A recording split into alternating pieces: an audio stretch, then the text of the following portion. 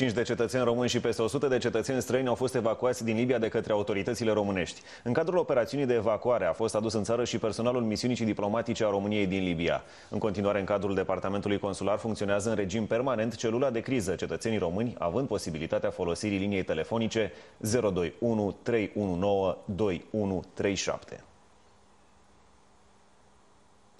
Observatorul se încheie aici cu alte știri. Vă aștept la ora 16 pe curând.